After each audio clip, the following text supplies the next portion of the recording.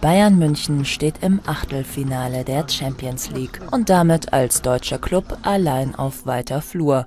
Am letzten Gruppenspieltag verabschiedete sich nach Borussia Dortmund auch RB Leipzig in die Trostausfahrt Europa League. Hoffenheim war bereits in der Qualifikation ausgeschieden.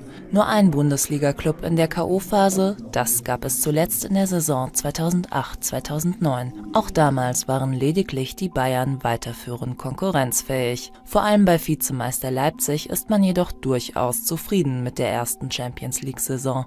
Trainer Ralf Hasenhüttl sagt nach dem abschließenden 1:1 gegen Besiktas: Zitat: Ich bin trotzdem stolz auf das, was diese Mannschaft in dieser Saison geleistet hat doch unter die Beobachter mischen sich angesichts des enttäuschenden deutschen Abschneidens auch kritische Stimmen. Mike Bartel, Berater von Robert Lewandowski, schimpft etwa auf Twitter, Zitat, jetzt sprechen sie von einer tollen Saison in Leipzig. BVB und RB haben von 36 Punkten 10 geholt.